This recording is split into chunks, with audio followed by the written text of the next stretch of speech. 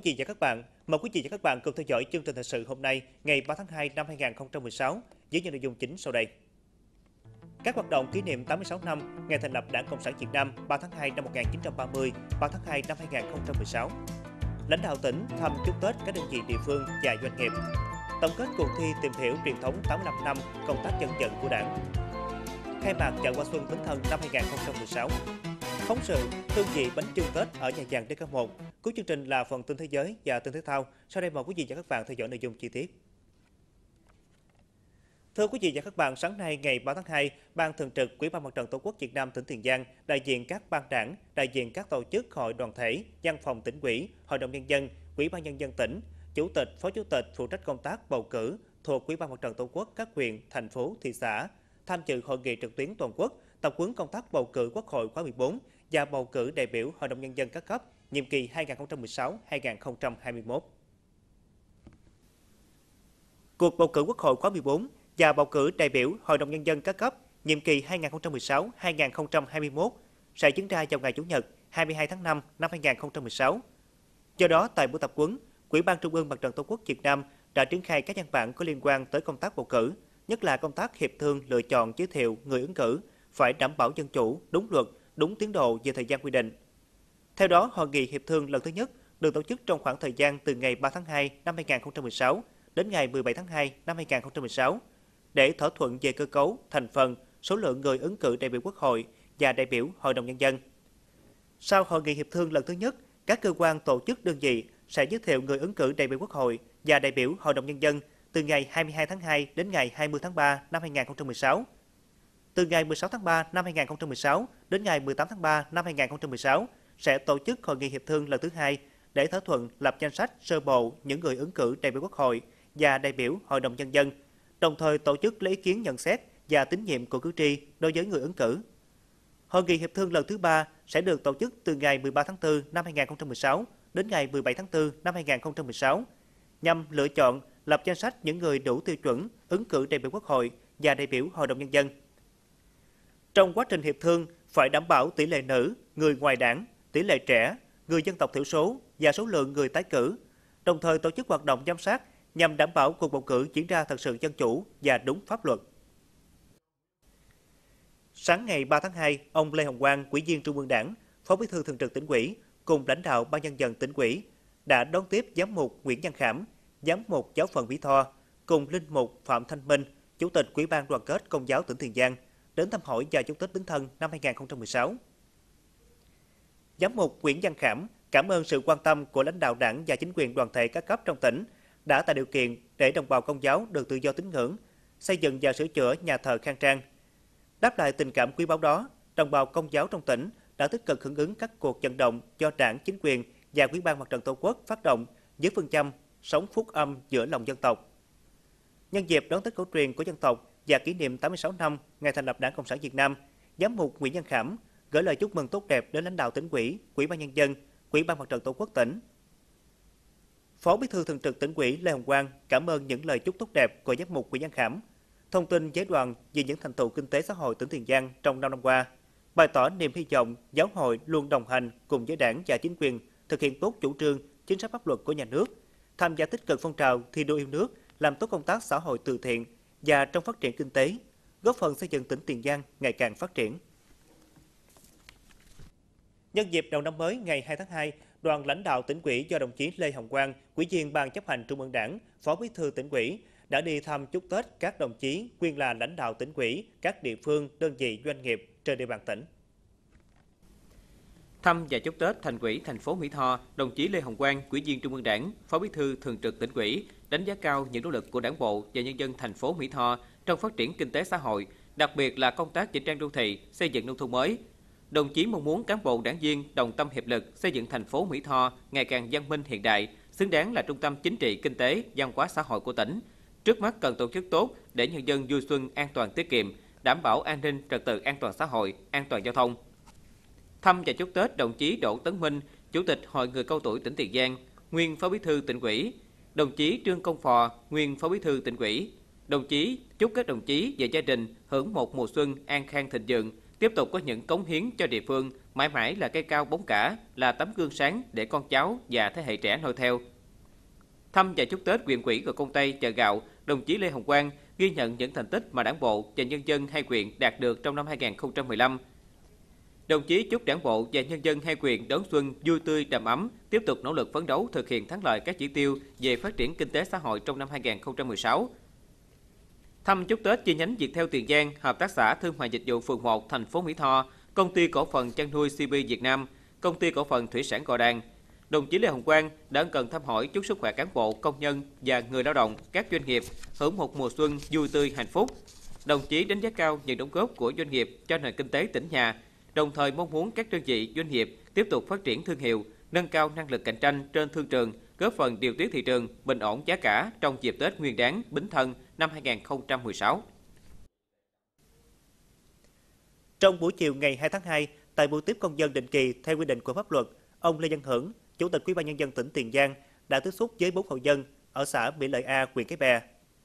Bốn hộ gồm Lê Kim Em, Nguyễn Thanh Hồng, Nguyễn Văn Tâm và Lê Thị Ánh. Các hộ này khiếu nại yêu cầu đền bù đất và cây trái nếu thực hiện công trình đường tỉnh 861. Theo ý kiến các ngành chức năng và chính quyền địa phương, thì tuyến đường tỉnh 861 từ xã An Thái Đông đến xã Mỹ Trung được thực hiện trong thời gian qua với phương châm nhà nước và nhân dân cùng làm. Nhà nước hỗ trợ về qua màu và vật kiến trúc, còn người dân gian tuyến đường thì hiến đất.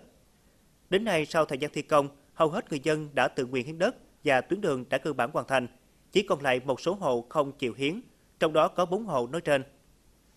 Còn các hộ thì cho rằng do hoàn cảnh khó khăn nên không hiến đất mà yêu cầu nhà nước phải bồi thường. Ông Lê Văn Hưởng, Chủ tịch Ủy ban nhân dân tỉnh cho rằng, nếu người dân vẫn tiếp tục không chịu hiến đất thì sẽ thi công mặt đường tại các vị trí này hẹp hơn theo chiều rộng của mặt đường hiện hữu mà không mở rộng ra.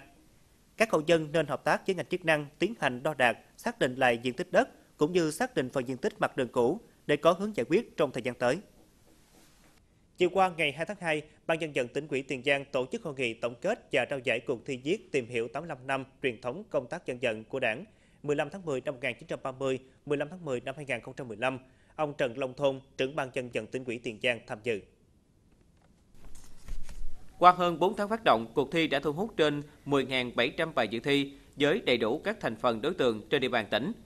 Với nội dung xoay quanh các vấn đề về truyền thống dân dân, nguyên tắc về đại đoàn kết dân tộc, nội dung biểu hiện về phong cách làm việc quần chúng theo tư tưởng Hồ Chí Minh, quan điểm của đảng ta về công tác dân vận trong tình hình mới, những mẫu chuyện, gương điển hình trong quá trình thực hiện công tác dân vận khéo ở địa phương. Các bài viết được các thí sinh trình bày công phu, rõ ràng, mạch lạc, đang xen hình ảnh minh họa phù hợp, đẹp, ý nghĩa, đã góp phần nâng cao nhận thức cho các thí sinh về truyền thống công tác dân vận của Đảng, góp phần xây dựng cơ quan đơn vị ngày càng vững mạnh toàn diện. Ban tổ chức đã tặng giấy khen cho 8 tập thể và 30 cá nhân đạt thành tích cao trong cuộc thi. Trong đó, giải nhất tập thể thuộc về Công an tỉnh Tiền Giang và giải nhất cá nhân thuộc về thí sinh Đàm Thị Xuân Uyên, giáo viên trường Trung học cơ sở Lê Ngọc Hân, thành phố Mỹ Tho.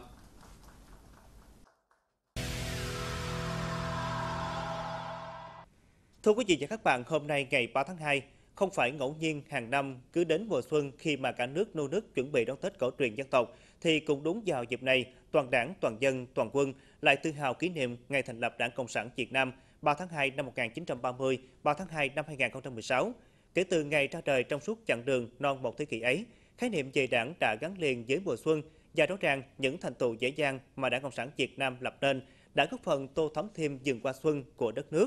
để mỗi năm thêm ngạt ngào hương sắc. Với ý nghĩa to lớn ấy, trong các ngày qua, Đảng bộ các đơn vị quyền thị thành đã tổ chức các hoạt động họp mặt mừng Đảng mừng xuân, tạo được không khí sinh hoạt chính trị sinh động và bổ ích. Tại thị xã Gò Công, trong buổi họp mặt ôn lại truyền thống dễ dàng của Đảng Cộng sản Việt Nam qua 86 năm,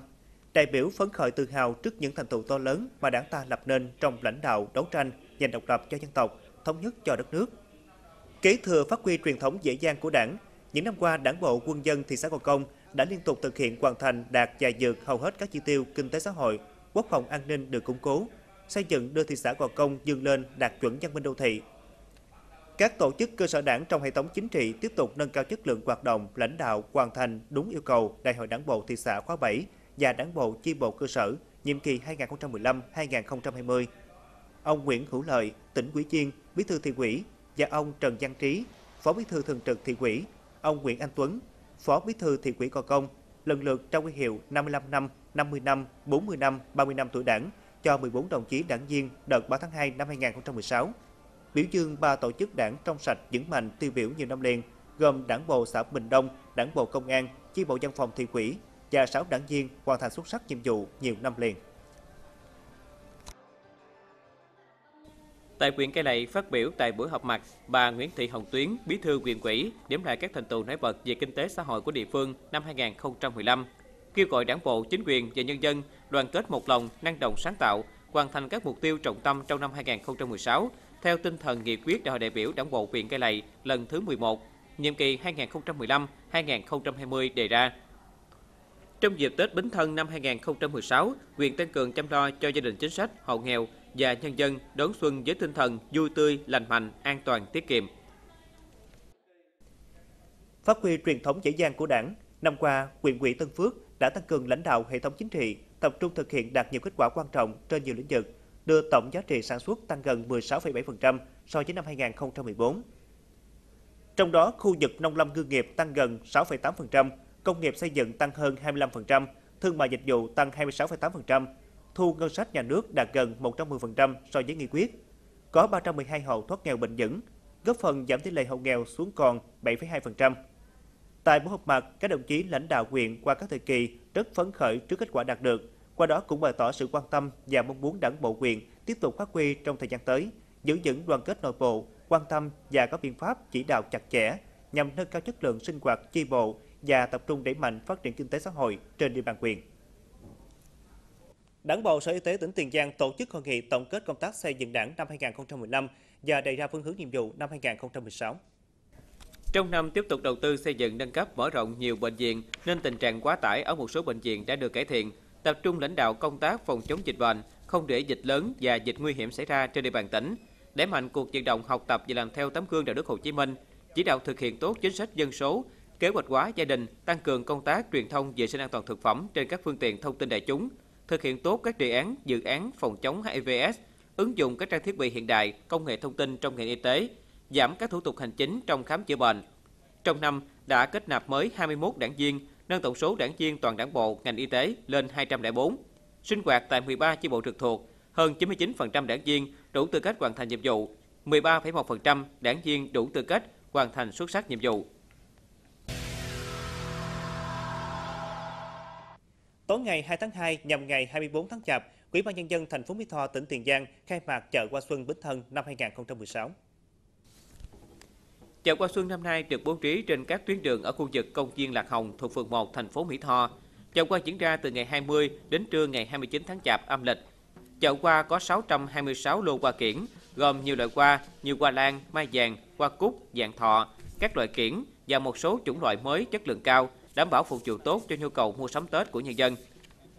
Chương trình văn nghệ khai mạc chợ Hoa Xuân Bính Thân 2016 là một trong chủ hoạt động chào mừng thành công của đại hội lần thứ 12 của Đảng và kỷ niệm 86 năm ngày thành lập Đảng Cộng sản Việt Nam 3 tháng 2 năm 1930, 3 tháng 2 năm 2016. Thưa quý vị và các bạn, Tết đến xuân về trên bàn thờ mỗi gia đình đều có bánh chưng, bánh dày hoặc bánh tét. Đây là hai món ăn truyền thống của người Việt Nam.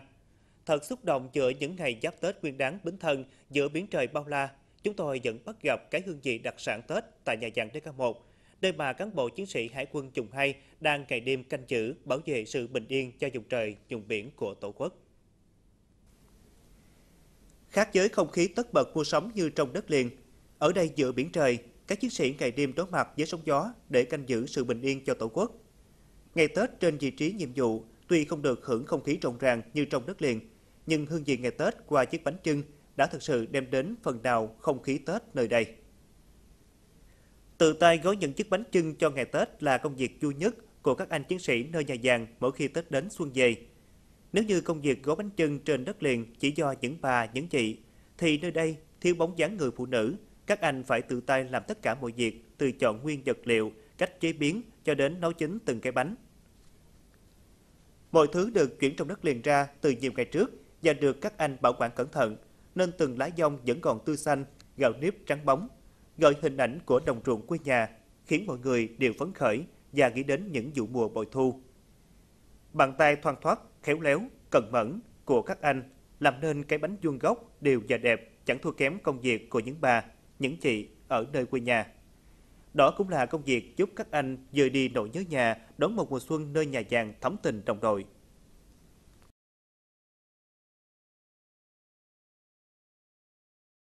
Đã là người Việt Nam thì ờ, đi đâu thì cũng không thể ờ, nhớ ờ, bỏ quê hương của Việt Nam được, về đặc biệt là cái hương vị ngày Tết, là đặc biệt nhất là cái bánh trưng xanh.